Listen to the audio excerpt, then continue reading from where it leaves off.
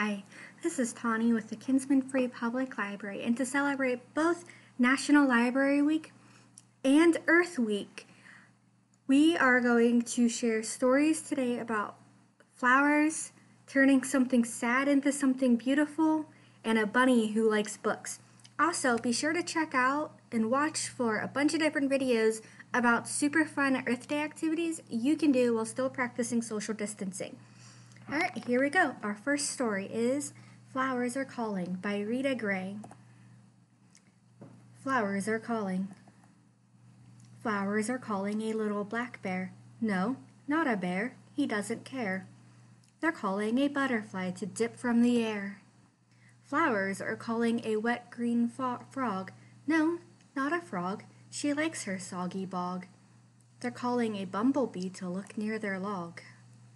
Flowers are calling a porcupine. No, not a porcupine. She wouldn't take the time. They're calling a hummingbird to sip at their vine. Queen Anne's lace. Butterflies like a landing pad where they drink nectar. Monk's hood. Bumblebees are hefty enough to push deep inside a monk's hood flower where the nectar is stored. Trumpet honeysuckle. Hummingbirds use their long tongues to reach the nectar hidden in deep tubular flowers and hover as they drink. Flowers are calling a loud blue jay. No, not a jay. He wouldn't stay. They're calling a honeybee to fly their way. Flowers are calling a little moose. No, not a moose. What would be the use? They're calling a beetle to eat their pollen loose. Flowers are calling a rabbit to stop. No, not a rabbit. It's not their habit to call a rabbit. He might grab it. They're calling a bee fly to visit their spot. Apple tree blossoms. Honeybees help make many of the fruits, nuts, and vegetables we eat by pollinating fruit tree blossoms, such as the apple tree. There are also thousands of varieties of wild bees that help to make many of the foods we eat. Magnolia. Beetles have been visiting flowers for more than a hundred million years. Violet. Bee flies look like bumblebees but have two wings instead of four. Like hummingbirds, they are able to hover their furry bodies in the air as they drink nectar. Flowers are calling a small brown snake. No, not a snake, for goodness sake. They're calling a pollen wasp with nectar to take. Flowers are calling a fat raccoon. No, not a raccoon. He doesn't care for white blossom, white bloom or sweet perfume. They're calling a moth in the light of the moon. Flowers are calling a desert deer. No, not a deer. He can't even get near. They are calling a nectar bat to flap over here. Blow out beard tongue, pollen wasps, like bees, make loaves of nectar and pollen to feed their young. Cardon cactus. Lesser long-nosed bats have long tongues that can reach the nectar deep inside the bell-shaped flowers of the cardon cactus. These cactus flowers unfurl for just one short night. Moonflower and Carolina sphinx moth. Sphinx moths are expert flyers with very long tongues. With tongues. Like cardon cactus, the blooms of moonflowers open for just one night and depend on the nighttime visits of moths for pollination. Flowers are calling a busy wren. No, not a wren. He's already seen them. They're calling some children to look again. Look at the flowers. What do you see? Color. Flowers that have daytime visitors tend to have bright colors, so they can be easily found among all the green foliage. Flowers with nighttime visitors tend to be pale with a very sweet smell, making them easier to locate in the dark. Many insects can't see the color red and instead are drawn to yellows and blues. Pattern. Many flowers use designs to help the pollinator find nectar right away. These designs are called nectar guides. How is the middle of your flower different from the outer part? Would these differences help a pollinator find nectar? Shape. The shape of a flower can tell you who might come to visit. Hummingbirds can reach deep inside long, thin flowers, but honeybees have rather short tongues. They need the nectar served in shallow golden bowls, like those of the apple blossom. Bumblebees are rather heavy and need strong flowers that can hold their heft. Is your flower a tight cluster of many small blossoms, such as Queen Anne's lace, or a dandelion? Then it will be good for all those insects like a sturdy perch. Smell. Does your flower smell sweet or musky? Does it have a smell at all? Bees like sweet smells, and beetles like fruity, spicy scents. Night active moths love flowers as fragrant as perfume. Nectar bats love musky smells, and some flies like rotten smells. Birds and butterflies use their eyes to find flowers instead of their sense of smell. Time of opening. Does your flower open in the daytime or the nighttime? If it is a night bloomer, then it is, it is calling to a night moth or a nectar bat. Day bloomers are calling to birds and insects who find food in the sunshine. Would you believe? Flowers need pollinators to flourish, and pollinators need flowers for nourishment. A pollinator is any animal or insect that helps a flower to trade pollen with another flower like itself. Most flowers need to trade pollen with each other so they can make seeds. These seeds will grow into new plants. Here are some fascinating ways flowers call to their special pollinators.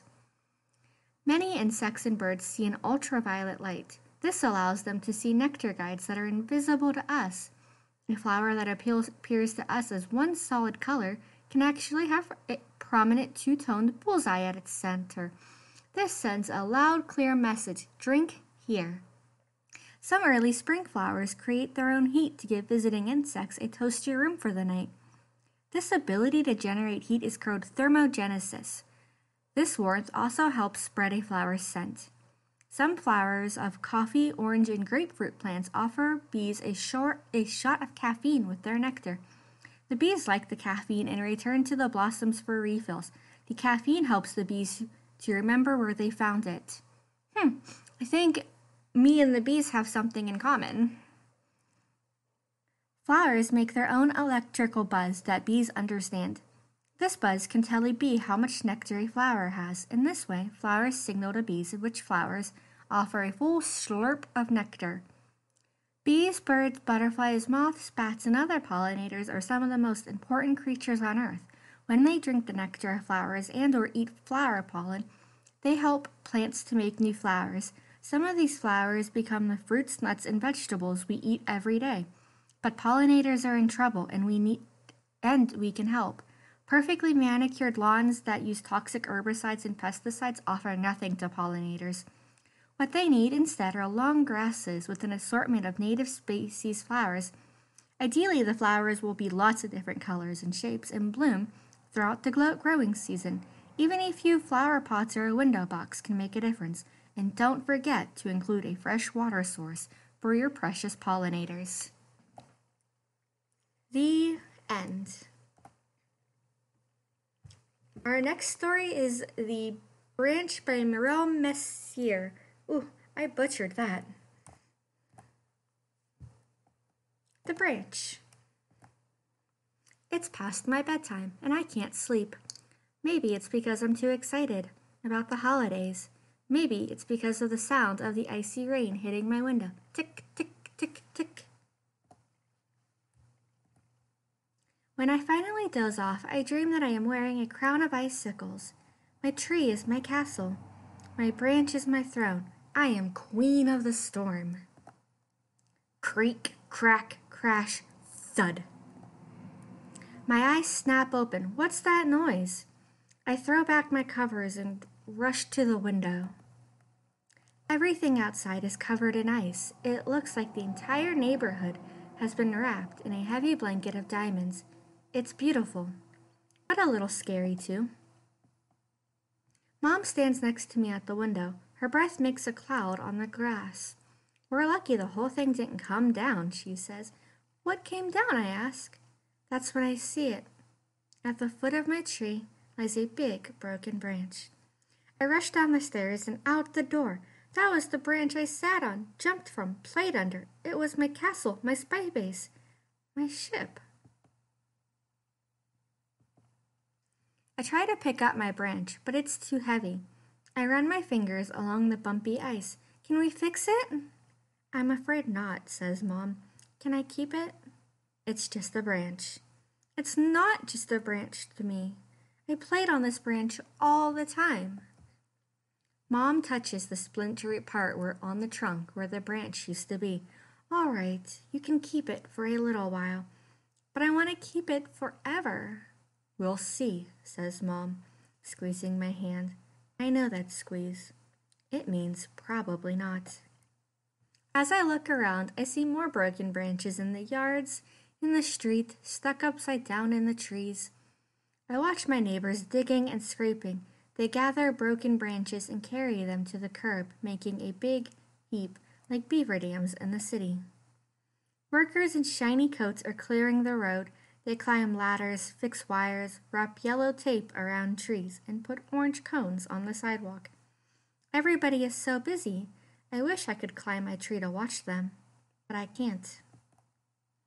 My next door neighbor, Mr. Frank, is out with his chainsaw. The buzzing makes my ears ache, but I won't go back inside. I block my ears and guard my branch. I want to make sure nobody comes to take it away or chop it up. Finally, Mr. Frank stops sawing when he catches sight of me over the fence. Why the long face? My favorite branch broke. Oh, I see. So what are you going to do with it? I shrug. It's just a branch. Just a branch? But it was your favorite, right? I nod. That's what I thought. That branch is full of potential. What's potential? It means it's worth keeping. Mr. Frank hands me a small piece of wood. What do you see? A piece of wood, sure. But what could it become? Mom comes over carrying mugs of hot chocolate. Hey, Frank. I see part of your tree came down too. Yep, that was quite a storm we had. We're guessing what's hiding inside the wood, I tell Mom. Mr. Frank chuckles at Mom's puzzled look. I build things from salvaged wood, said, says Mr. Frank. With some imagination, each broken piece can become something great. I look at my favorite branch. It has potential. I concentrate, I squint, and then I have an idea. I know what my branch can become. I knew you would, says Mr. Frank. What is it? asks Mom. Is it a walking stick? A coat rack? A birdhouse? No, it's even better, I say. I cut my hand and whisper into Mr. Frank's ear. Oh, good idea. But I don't know how to make it. I can help, says Mr. Frank. I have the tools and I have the time. All you need is elbow grease. Mr. Frank's workshop smells sweet, like Sunday breakfast. We work together on weekends and sometimes after school. He shows me how to use the tools to make my branch into something new. We draw plans, we measure, we saw. We saw some more. We dry the wood, and then we wait, and wait, and wait. We plane, we make holes. We sand, then we varnish, three coats, to make it last a long time. It wasn't just a branch, it was my branch. The one I sat on, jumped from, played under. It was my castle, my spy base, my ship. It still is. The end. And then our final story is Bunny's Book Club by Annie Silvestro. Bunny loved books. He loved them ever since he first heard the lady with the red glasses reading aloud outside the library. As he listened, Bunny imagined himself climbing mountains, captaining a ship, ruling a kingdom. But when summer ended, story time moved back inside. Bunny wasn't sure if animals were allowed in the library, but Bunny was sure he couldn't live without books. Night after night, he could hardly sleep for wishing he had to do something. So, with a flashlight in his paws and hope in his heart, Bunny jumped out of bed and tiptoed through the dark. But when he reached the library door, it was locked. So were the windows. Bunny tried digging, climbing, and yanking. Nothing worked until finally he noticed the book return. The shiny handle was far above his head, but it was no match for a high hopping bunny, hungry for books. Bunny leapt. He clung to the bar and flung himself over and wiggled his cottontail through the slot. He landed inside with a thud. Bunny's eyes sparkled at the sight of the shelves bursting with books. It was better than a field full of fresh, crunchy carrots. Bunny didn't know where to start. He took a breath, deep breath. It smelled as if he were wrapped inside the pages of his favorite book. Then, there he found. He followed his nose to the adventure section. There he found stories about swashbucklers, sharks, and superheroes. Bunny greedily grabbed them all. His whiskers twitched with excitement. He slipped his treasures through the book slot one by one. Then he performed his best balancing act. Bunny wobbled home. He couldn't wait to dig in. And so, Bunny returned to the, to the library each night. He searched and sneaked, then scurried to read. Soon his home was more books than burrow. Then, one evening, a loud knock startled Bunny. He closed his book and opened the door. Where have you been? asked Porcupine. Reading. Why? said Porcupine. Bunny's eyes popped wide open. Why? he sputtered. Have you ever been to the library? It was time for Bunny to let Porcupine in on his secret. Are you sure this is a good idea? said Porcupine. Calm your quills, said Bunny. I'm too prickly. I'll never fit. Bunny pushed and shoved until pop went Porcupine. Bunny slipped in and flipped on his flashlight. Whoa, said Porcupine. I know, said Bunny. Do you think there's a story about balloons? I've always wondered about balloons. Most definitely, said Bunny. Sure enough, Porcupine found books on balloons, and on deserts and dunes, and on caterpillars and cocoons. When Bunny handed him one about hedgehogs, he hugged it. The two friends took turns cramming books out the slot. Their towers teetered so high they could barely carry them. Back at Bunny's, they cozied up with cups of tea and carrot muffins. Together, they read until sunrise. One night, Bear noticed the light on at Bunny's. He opened the door and tripped over a stack of books. What's going on? said Bear. Here, said Bunny, handing him a book. Bear made room and settled in. Soon, more curious animals began visiting. Do you have any books about outer space? said Bird. Or about volcanoes? asked Mole. I'd like a ghost story, said Mouse. I think it's time for a field trip, said Bunny. One by one, the animals stuffed themselves into the library. Fear caused a bit of delay. They scattered about, sniffing the stacks, pawing over pages. Squirrels gathered stories about the circus. Raccoon nabbed one about outlaws and bandits. Frog found a fairy tale.